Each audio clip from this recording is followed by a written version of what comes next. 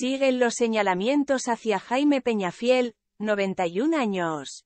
El periodista no deja de recibir críticas y reproches luego de sus polémicos planteamientos en contra de la reina Leticia, 51 años. Ahora es el turno de Paloma del Río, 63 años, quien aprovechó el contexto no solo para ponerse de lado de la esposa del rey de España, también para criticar la actitud de su colega y la manera de ejercer su oficio.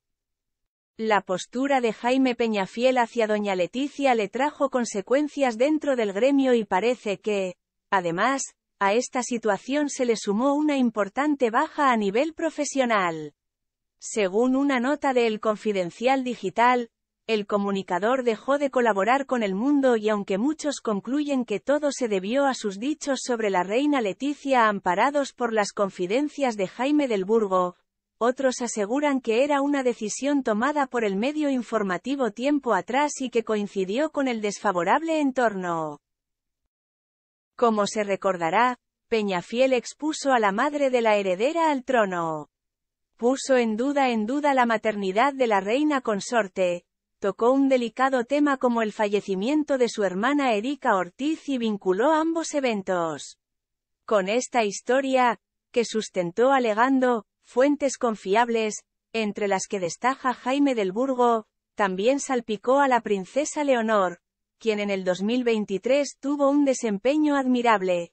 Además comenzó a dar sus pasos como heredera al trono y también afectó la memoria de Erika Ortiz.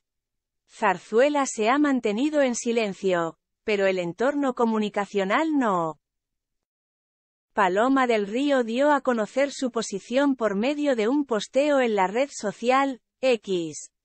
Decidió responder un planteamiento de Pilar Eire sobre el tema y así no solo defendió a la reina Leticia, también reprochó el proceder de Jaime Peñafiel.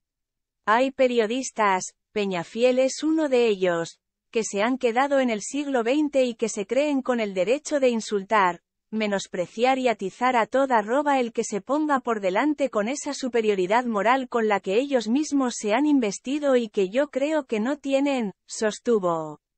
Con estas palabras, Paloma del Río destacó que Jaime Peñafiel vive estancado en el pasado, que hace gala sin reparo de su abuso de poder y actúa como un juez moral sin empatía. Además, puso en duda su credibilidad y autenticidad como periodista al dar a entender que él solo es una fachada.